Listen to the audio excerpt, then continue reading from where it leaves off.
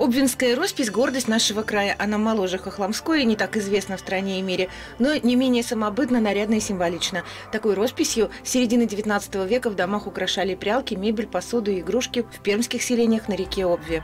То, что мы по крупицам собираем, и то, что мы э, бережно храним сейчас в музеях, э, это очень мало на самом деле.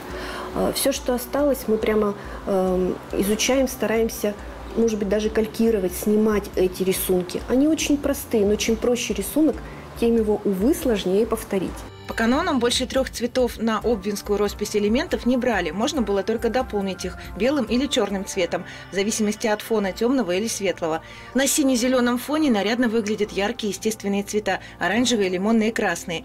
Растительный узор выполнялся геометричными рисунками. Центр росписи – сама обвинская роза. У нее 8 лепестков 4 на 4, как бы в форме креста. Цветок как будто вписан в круг, символ солнца, напоминая знак солнцеворота, и становится оберегом. Лепестки Лепестки розы символизируют четыре стороны света, четыре времени года, четыре на четыре лепестка, как лучи. На темном фоне их украшают белыми капельками. Собираясь вокруг точки и вписываясь в круг, они становятся символом солнца, солнцеворота. И называется это все-таки цветком. На розу, может, и не похоже, но вот эта многолепестковость, поэтому ее так и зовут. Как у розы много лепестков, так вот, а обвинская роза, она вот такая.